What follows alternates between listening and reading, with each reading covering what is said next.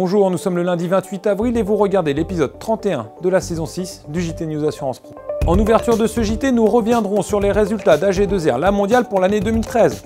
Nous parlerons ensuite du patronat et des assureurs avec Bernard Spitz, président du pôle Europe et International au MEDEF. Enfin, nous reviendrons en images sur les dernières actualités des semaines passées avec Spheren et AXA notamment. Vacances oblige, les traditionnelles présentations de résultats ont été mises entre parenthèses ces deux dernières semaines. AG2R La Mondiale s'est pourtant distingué dans cette apathie pascale en annonçant ses résultats pour l'année 2013, des résultats en croissance, jugés même solides par son directeur général André Renaudin. 2013 a été une très très belle année, que ce soit en collecte euh, sur tous nos périmètres, euh, euh, retraite Agir Carco et, assurance bien entendu. très belle année, très belle année en résultat aussi, parce qu'avec 243 millions d'euros, nous sommes bien dans nos objectifs de confort de nos fonds propres. Rappelle que les, fonds propres ont doublé en 5 ans, passant de 1,8 milliard à, à 3,6 milliards, 3,7 milliards. Voilà, c'est ça notre performance, euh, garantit euh, notre capacité de développement futur, euh, garantit notre solvabilité. Donc on a connu une progression importante en, volume, tiré par les, produits d'assurance vie patrimoniale au, Luxembourg. Nous pensons que 2014 va s'inscrire dans ce, dans ce mouvement. Et oui, l'assurance vie épargne est composante forte avec 4 milliards, plus de 4 milliards et demi de, cotisation. Pas d'inquiétude toutefois, les présentations de résultats reprennent dès cette semaine avec la Massif le 29 avril à retrouver dans le JT de la semaine prochaine. Dans un mois, il faudra voter dans le cadre des élections européennes. Quel rapport avec l'assurance, me direz-vous? Bernard Spitz. En effet, l'actuel président de la FFSA préside également le pôle international et Europe au MEDEF, le MEDEF qui réclame mieux d'Europe.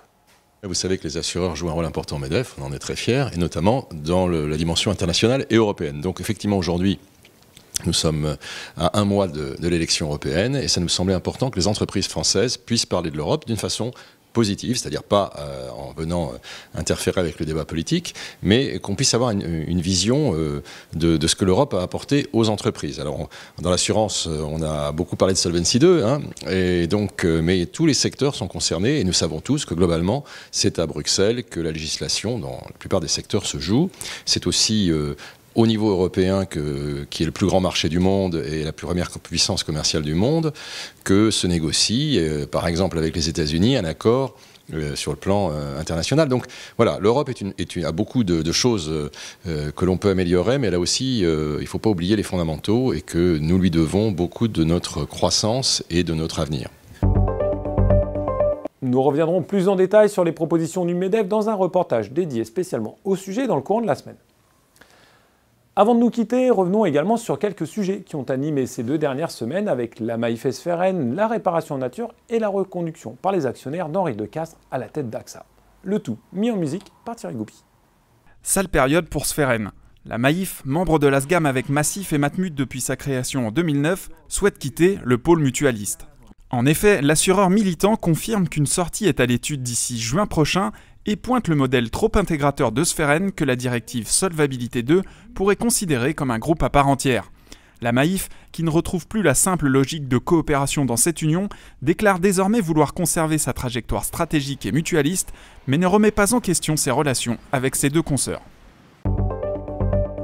Mercredi dernier était officialisé le GEPREN, le groupement des professionnels de la réparation en nature. Le but de cette réunion, favoriser les réparations en nature, notamment auprès des assureurs habitation, lors de l'indemnisation des sinistres. Le groupement souhaite également apporter des solutions concrètes aux compagnies d'assurance en cas de catastrophe naturelle ou dans le pilotage de ces réseaux de prestataires. Henri Decastre, PDG du groupe AXA depuis 2010, a été confirmé à son poste par l'Assemblée générale des actionnaires le 23 avril dernier. Une adoption à 83,16% des voix, Henri de Castres en a profité pour repréciser la stratégie du groupe qu'il a intégrée en 1989. Dans le même temps, son fidèle numéro 2, Denis Duverne, a également été reconduit dans ses fonctions de directeur général délégué. Ce JT maintenant terminé, le dossier relations clients continue cette semaine sur News Assurance Pro. Je vous donne rendez-vous quant à moi lundi prochain pour une nouvelle édition. Très bonne semaine à toutes et tous.